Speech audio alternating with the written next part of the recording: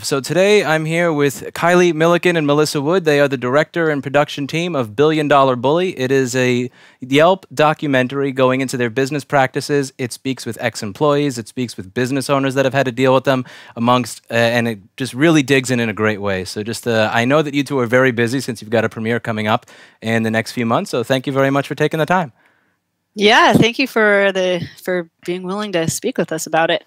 Course, okay, so yeah. the, yeah, my first main question before we get into anything else is just can you give can you give us any idea what got two people so aggravated about or incentivized about Yelp to do a crowdfunding project and then spend two to three years of their life traveling the uh, the country to interview people and turn it into a documentary? Like what what was it that got you to uh, that involved in this, or that was that motivating?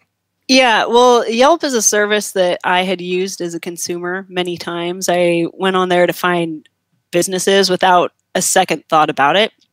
And it wasn't until I was at my doctor's and she began to tell me about her experiences with Yelp. And I was really surprised about what she said. It sounded, the practices that Yelp was using sounded illegal. And I didn't understand how this company was getting away with it if what she was saying was true. So I went home and I began researching it and I just found thousands and thousands of stories all saying the same thing. And I thought, okay, well, this is coming from a business owner's perspective. What is Yelp's response to this? And anytime they are questioned at all, they always, first of all, they try to smear the person questioning them, which doesn't seem great. And then, secondly, they jump to three areas. They say there was a Harvard business study that shows we do nothing wrong.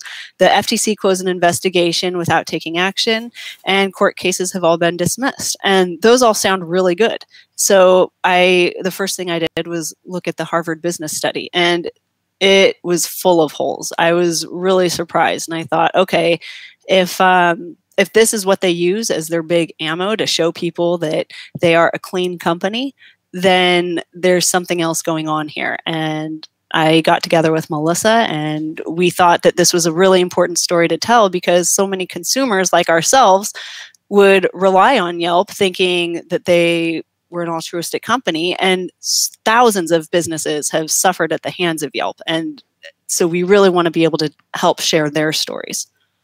What are some of the holes that you found in these studies? Because I remember I saw an interview with you on CNBC with Shannon. I'm not going to try to pronounce her last name there, but uh, she she was talking about these studies that were done, and what were the holes that you found in those studies? So, God, it it goes back to um, first of all, it's a very limited study. It it only examines restaurants and only in Boston. And basically, what the study says is um, restaurants with lower ratings are more likely to try to get false ads or I'm sorry, false reviews on their page. Um, and also, chain restaurants are less likely to try to get um, false reviews. And that's really all it said. It really didn't get into the stuff that Yelp kind of claims it says. It doesn't. Um, it, it, the authors of the study actually say that they don't know how the algorithm works. They can only make guesses, but they don't know. Uh, so, yeah, it, it just it didn't say what Yelp kind of tries to claim it says. Yeah, and what I found particularly interesting is that in that interview, she said in a very wise ass tone, Yeah, we're all just part of somebody's fundraising project because, like, that's all they're doing here is they're just trying to raise money. And she said it with this sense that you should feel such shame that you raised $90,000 over three years to pay four or five people to work full time on this and travel around the country, which is really interesting projection when they have sales agents that cold call people on a regular basis every day, asking them to pay $2,300 or $2,200 a month for these packages. Everybody that has funded you, from my knowledge, from the Kickstarter campaign that I linked below, uh, found you voluntarily and paid you voluntarily, whereas their methods of advertising are to cold call you to essentially fundraise. So she was shaming you for doing the same thing that they're doing on a regular basis. And for those of you who haven't followed my story, since this was a long time ago in 2015, back when the channel had like 10,000 subscribers, I had a, I was getting calls about once a month from a sales agent for at that point about six or seven years, and I had always said no, and I got sick and tired of it. So one of the sales agents had given personal back end information of one of my competitors, and I thought, hmm, you're probably not supposed to be sending me this.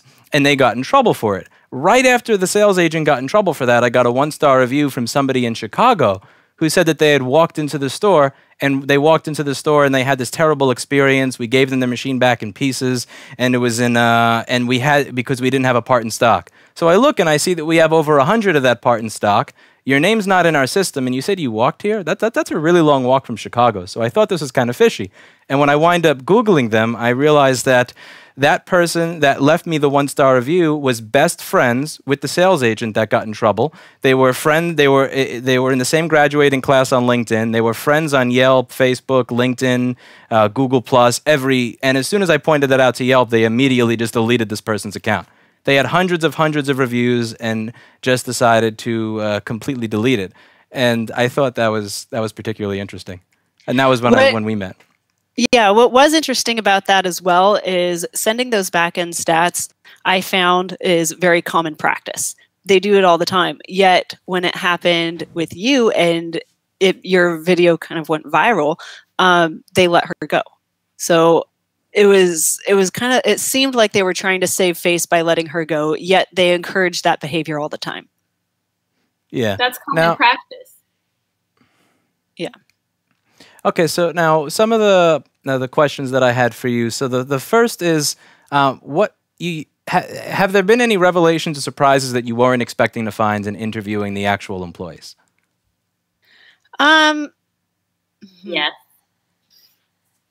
I think we're we're trying not to give away too much, but I, could, I, um, I think every time somebody came um, or initially came forward with a story, we were shocked that the, of of the details they that they were providing us and the um, backup they had to the story.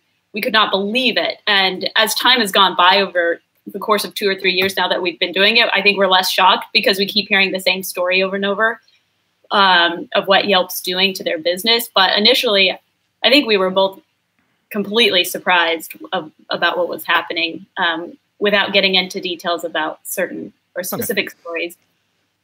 Now, one of the things I, have been trying to envision how this could possibly happen, particularly with a publicly traded company, and it's very difficult for me to buy into the idea that at a publicly traded multi-billion-dollar company, that it says somewhere in their guide, like they have this little mafia handbook that tells you when they decide not to sign up, here's the button that you click to make all their negative reviews show up. And the reason that I find it hard to believe that there's some sort of real scandal within Yelp is because as a publicly traded company, if I work there and I make forty thousand dollars a year, my loyalty is not to the to the company that's mismanaged paying me forty thousand dollars a year. My loyalty would be to the law firm or to Fox News who wants to pay me two hundred fifty thousand dollars to bring them this document and tell my story. So it was difficult for me to buy into the idea that that's the way that this was that this was happening. So do you think that this is more of a rules issue within Yelp, or do you think it's like a company culture run amok? So, uh, you know, for, it's or, definitely sorry, it's definitely company culture. It's this whole frat boy mentality when they go there. So many of these sales employees are fresh out of college. It's one of their first jobs, and they're just there to have a good time. And it's so one of the ex-employees we spoke with talked about FOMO, fear of missing out, and uh, if you weren't going out all the time with your coworkers and you were missing out on this and that, and there were a number of employees that would not go on camera with us. Um, they sign NDAs when they leave the company, and they um, they said, yeah, if we weren't going out, it was kind of it was frowned upon, and um, and and really the sales employees don't have. Uh, it, they're bottom feeders at the company. It's the upper management that's um, more responsible for how things go there. And, yeah, I, go ahead. Sorry, I was just going to say I think that without getting to the bottom of how how is this corruption happening, um, because they won't release their algorithm, so nobody really knows how it's going on. Um, we just know that thousands of business owners are saying the same thing. They have the same um, documentation to back it up, and um, there has to be something behind what's going on. Yeah, because what and, I was imagining. Oh, go ahead. I'm sorry. Well, and there's not just one thing that's going on with the company. That's uh, part of creating this film. It was so hard to figure out how to piece it together because there are so many rabbit holes it could go down. And even as we have it now, it's like, ah, we we couldn't bring this and this and this up. But it's so it's not one only one thing that the company is doing. It's numerous things and it's yeah. Well, the fact that it, it portrays itself as um, just a platform for which people can write reviews and look at reviews is wrong because they're not that type of a company. They're um, they're an advertising company. They make their uh, money off of small small businesses advertising with them. Yeah, because when I look, just look at my example, it's difficult for me to believe that it was in the document saying, you know, like let this per give this person a one star if they don't sign up. What I most likely imagined was that, you know, er Erica went out with her friend that evening for drinks. They said, How was your day? And it's like, Oh, I got in trouble after calling this asshole customer that didn't want to sign up. And she's like, What's his name? And he's like, This is his name. He has some business in New York. And they're like, and then they just move on to something else. And then the next day I get a one star review, and at the office, nobody notices or cares. And Eli, the computer guy, who has a really good channel, he's been mentioning for years that a lot of modern startups they they really want you to go out after work. They really want you to go out drinking. They really want you to be friends. They have this, oh, you know, uh, drinks on tap at the office kind of environment, which he thinks is terrible. And I kind of thought about that when you said that they have this culture of going out and and uh, doing things together, and they're right out of college and FOMO and all that. It seems like a lot of that startup culture is what's involved here or yeah, th- that, sure. that type of culture is involved in, in, in, this type of scandal. And it's why it's so difficult to pinpoint it because you can't really prove that it's in a rule book when it's in this unwritten rules of the company culture. Right, exactly. But I now, think that it would be wrong to blame the salespeople because they are doing their job. I think this is so much bigger than that. This is upper management um, that's trickling down to the salespeople that are having to pull the trigger on the things that you know that they're doing. So definitely the culture that's happening at Yelp or that we believe to be happening at Yelp, I'm sure contributes to it, but I think it's so much deeper than that.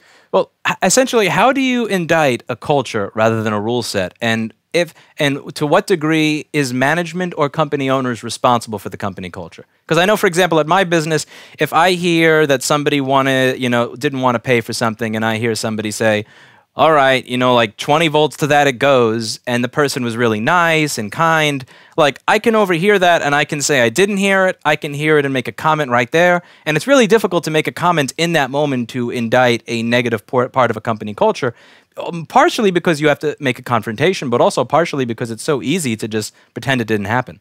So, how, do, you, how do you indict uh, negative aspects of a company culture and hold management responsible for that? Hmm. That's an interesting question. I think management is always responsible for what's going on um, with their subordinates. Um, having said that, I don't think that's the crux of the problem. I think it's so much bigger than that. I think when you have thousands of business owners coming forward saying, when I refused to advertise, all of my good reviews were filtered, and all of my bad ones, even if they were from three or four years ago, are now put at the top. And if that's happening over and over and over and over again, is that just something that we can blame on a culture within the company or is that now a policy? I mean, it's it's interesting to hear what business owners are saying and the information that they're bringing bringing to our attention. But it would I would also add that it would serve a company well to listen to okay this is one thing i just find so ironic is yelp they tell these business owners all the time if you're not happy with your reviews speak to your customers and try to make things right. If you have a two star review reach out to them. Try to bump that up to a five star review. Speak to your customers.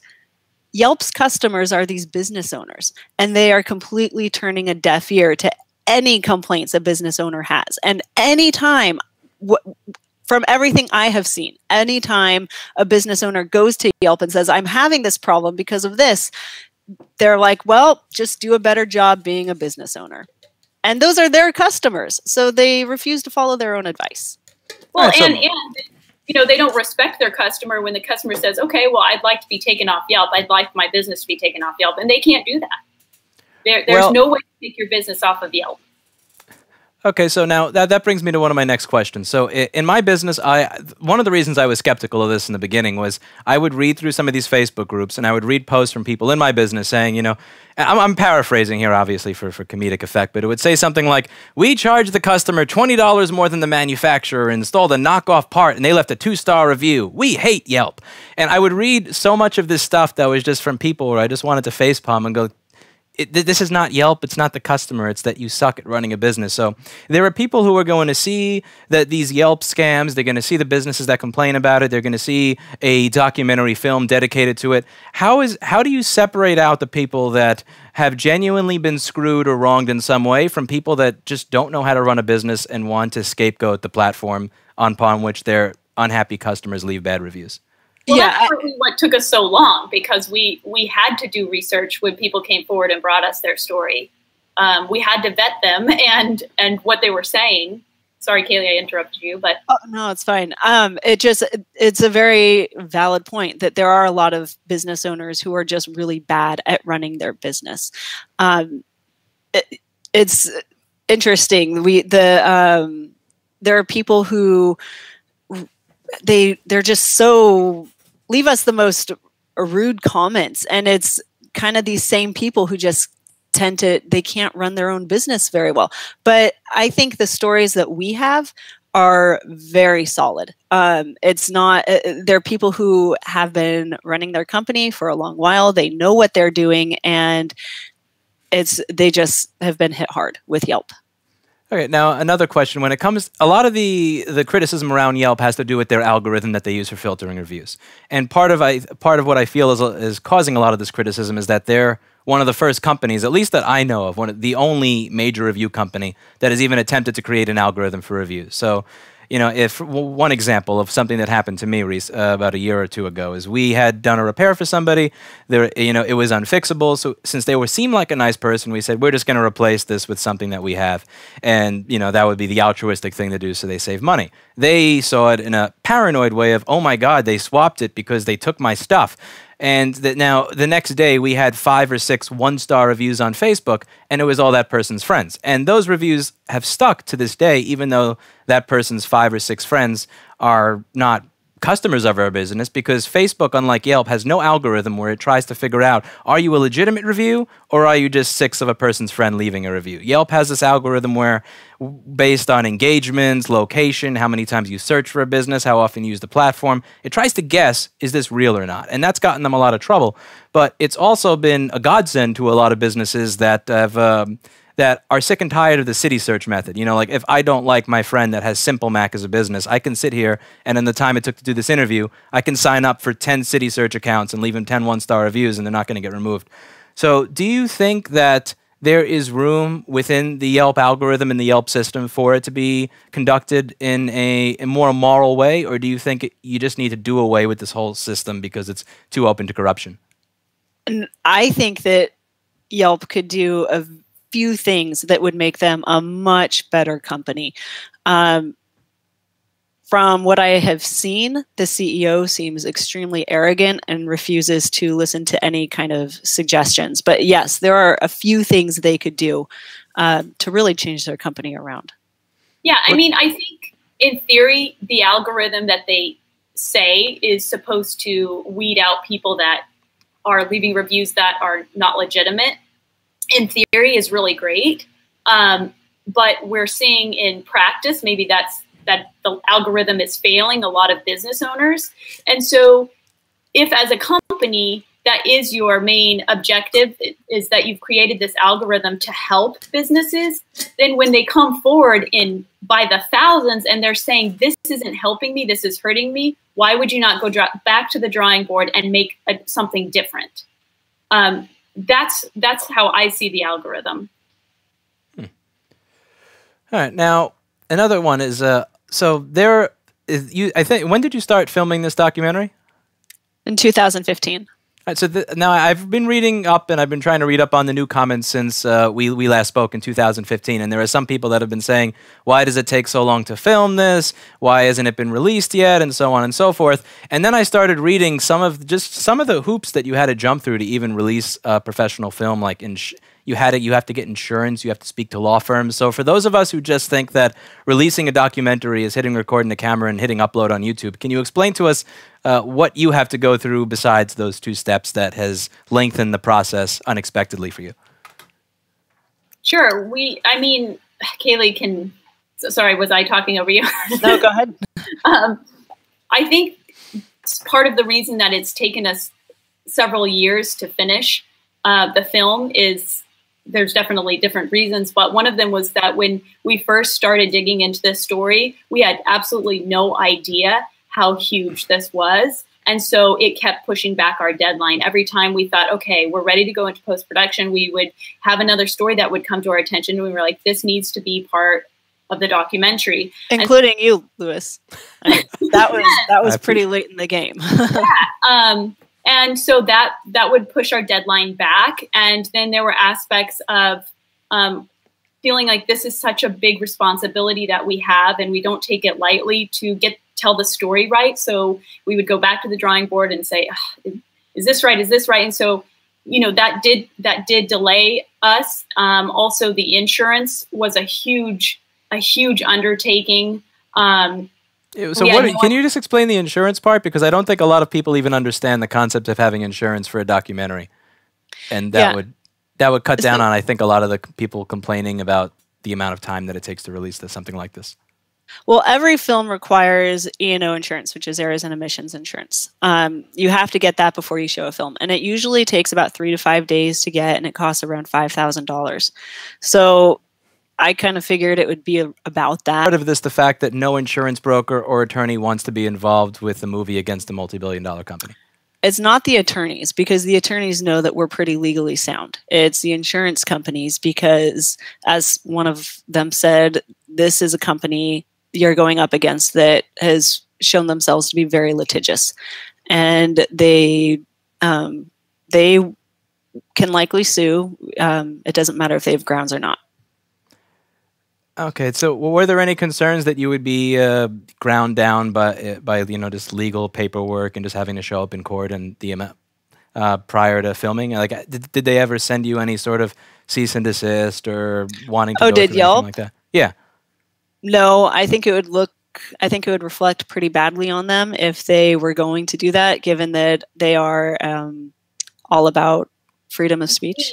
You did get the vice president of uh, commercial relations or something to show up on CNBC, which was interesting. I don't think I could get the vice president of a publicly traded company to show up on a on the, on the news. We also got an email from Jeremy Stoppelman himself. yes, uh, declining to be interviewed. that, yeah, that answer, he did answer our email. Mm-hmm. Okay, so let's see what um, I, have got some questions from the audience that would be interesting to read here. So if anybody has questions, the YouTube and Twitch chat are open. Let's see. Would you be Jessa Jones says, would you be able to differentiate someone who worked for Yelp from someone who worked for, for the mafia in a phone call? asking trolling questions. Uh, is this not similar to the Facebook and Cambridge Analytica scandal? Most likely starts with a CEO memo and then it's part of the company policy or culture that's something Kaylie and I were just discussing last night. Um, how relevant this topic that we're working on, this this subject that we're working on now, is now becoming with all the things that are going on in the news with Facebook and things like that. Um, Kaylie. Yeah, ditto to what you just said. Yeah. I mean, look, when a business can't take themselves off of a platform that they don't want to be on, their information is now being used against their will. They're they're no longer in control of their own um, stuff, right? They're not in control of the address that's being put on there. They're not, not in control of anything. So um, it's interesting how the, the business owners have come forward and said their their their information is being held hostage, essentially. Well, one of the questions I have there is essentially what legal precedent would there be to not have someone's information on a website? So, for example, if, if somebody wanted to host a site that said Rossmann Repair Group, 186 First Avenue, and from a freedom of speech perspective, what right would I have to tell them that they're not allowed to do that? You know, so there's this, uh, there are a lot of companies out there now that do um, online reputation management and they try to help businesses who have bad online reputations bring them up um, and we interviewed one company that they never claimed they worked for Yelp. They never said they had any kind of affiliation with Yelp. And Yelp sued them for um, a whole slew of things, but ended up saying, okay, well, we're suing you for copyright infringement because on their website, that was um, Yelp symbol was one of the ones they used saying, like, we can help you out on, you know, Facebook, Google reviews, blah, blah, blah, blah. And, um, and Yelp was just one of many that were there. And so it's interesting that Yelp really is picky about where they are placed, um, yet they are um, putting up companies themselves on to okay, Yelp. So, was their argument that you're using my logo, which is my copyright, against my will? Yeah. Huh. So, so that, so what if so if, if if let's say Yelp just listed the text of your business uh, without a logo, and I'm just I'm I don't see how that would be something that could be taken down. I understand how business owners would not want to be listed on the site, but at the same time, I, th- I think it would create some sort of dangerous precedent to say, you know, you have the right to take a, a business's name down from a website. Yeah, but the problem is they the business owner doesn't necessarily put themselves up there. Anybody can put any business up there. And then you start getting these phone calls from Yelp saying you need to claim your business page. You need to claim your business page. It's free. Claim your business page. You can't change any information and if you don't do it, anybody else can and they can put any information about your business that they want there. So then you go and claim your free business page. But by claiming it, you have to click OK to their terms of service and you have just entered your first contract with Yelp. Okay, so And essentially now- you're saying you would have to enter a contract in order to correct false information about you on the internet. Sure. All right, Yeah. that- that's a decent argument. I I have one person here saying, I'm an ex Yelp employee. You're 100% correct on flat, frat culture, uh, not on review conspiracy. People are explicitly fired if they infer a correlation between reviews and ads. I would be curious if it was kind of like a winking agreement, though. see, what else do we have in questions? So we have, all right. Time is.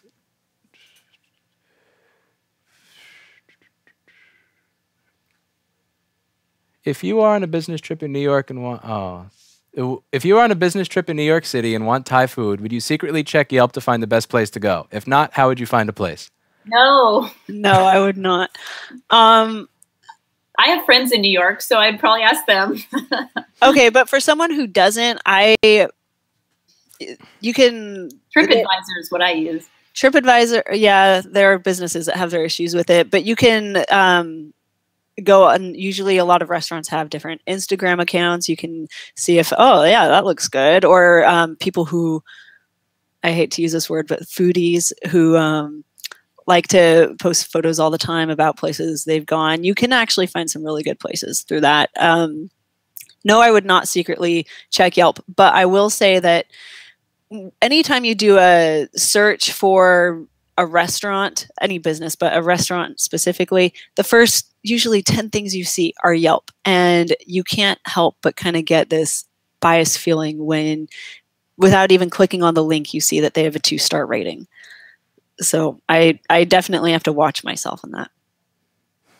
Did you have any issues with any employees that had signed an NDA in terms of them being able to speak uh, speak with you? Yeah, Um, there was one employee that we were going to speak with, had everything set up. She was flying out from New York. Our cinematographer was flying up from LA. Every, everything was set up, and she got to the airport, and she's she said, "I can't get on the plane. I I'm so worried about them coming after me because of that NDA I signed." Yeah, I've I've dealt with NDAs before. I had an employee that had signed an NDA and it said something about same position. So when I hired him, I had to put him on payroll as a janitor, so that it would, that was so it's it's it's sometimes very tricky to try to get around NDAs. But hopefully, I imagine Yelps are better written than those for the places I've hired. They're intimidating, especially for somebody who is making forty thousand forty thousand dollars a year and can't afford to have an attorney go and check things for them. Have you seen any stories of people claiming a business page and then trying to sell it to the actual business? I have not seen that. That is interesting. I would hope that Yelp would get on that, but I don't know. I, I would hope Yelp would do a lot of things that they're not doing. I don't think we've heard about that. Hmm. All right, so I've but looked. they may have a new scheme there. Looks like we're almost to the end of questions, and uh, now when is the uh, when is this documentary going to be coming out? Do you have any uh, specific time for a premiere or for a release for those who are interested or want to see it? Yeah, we um, soon in the coming weeks uh, we're going to be having a buyers screening that's going to be taking place in Hollywood, um, and then after that, everything will be coming together and this will be in front of an audience, and hopefully, it will be changing Yelp's business practices. Do you think a business model like Yelp's can actually work where they can provide an unbiased service? I would think so. Yelp has started to find ways to make money aside from business owners, you know, with um, some of their online reservation stuff. But uh, they're still the vast majority of their money comes from business owners. Um, so uh, that just represents a huge conflict of interest. So if people wanted to help you and contribute to what you're doing, uh, where else uh, can they find you besides uh, prostfilms.com? That's by the P R O S T F I L M S.com. So where, where can people find you? How can they help you out if this is something that th- they're interested in being involved in or just interested in you know helping move the process along? Yeah, it's also on Facebook. Um, really those are the only two spots right now uh, until we get things released. Yeah. All right. So um, I guess that's about it. So uh, thank okay. you very much for taking the time today. Anything else you want to say? Yep. No. Thanks for your time. Guys. Yeah. All right.